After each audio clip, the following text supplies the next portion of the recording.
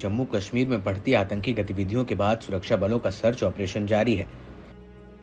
कुपवाड़ा में मुठभेड़ के दौरान सुरक्षा बलों ने दो आतंकियों को ढेर कर दिया। इनकाउंटर नॉर्थ कश्मीर के कुपवाड़ा के केरन सेक्टर के नज़दीक एलओसी के पास हुआ था। वहीं अब कुपवाड़ा में मारे गए आतंकियों के पास से एक स्टेयर एयूजी राइफल भी मिली है। आतंकियों के पास इस राइफल के होने का दावा जुलाई 2020 से ही किया जा रहा है।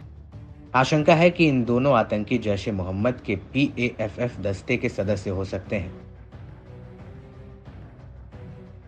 क्या है स्टेयर एयूजी राइफल की खासियत? स्टेयर एयूजी एक ऑस्ट्रेलियाई बुलपप असॉल्ट राइफल है। इसके चैम्बर में पाँच दशमलव छप्पन इंटू पैंतालीस मिलीमीटर का कारतूस इस्तेमाल होता है। इस राइफल की मारक क्षमता भी काफ़ी एडवांस है। इस राइफल को आसानी से कैरी किया जा सकता है। टिगर पूरा दबाया जाए तो ऑटोमेटिक फायरिंग शुरू हो जाती है। इसमें 9, 30 और 42 राउंड एक साथ फायर किए जा सकते हैं।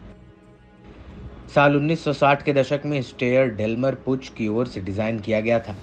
अब इसे Steyr arms G M B H and company के जी बना रही है। इस हथियार को दुनिया के चुनिंदा खतरनाक राइफलों में शुमार किया जाता है। इसे दुनिया के काफ़ी देशों में सेना और पुलिस इस्तेमाल कर रहे हैं। साल 1977 में ऑस्ट्रियाई सेना ने इसका एस टी जी वर्जन अपनाया था।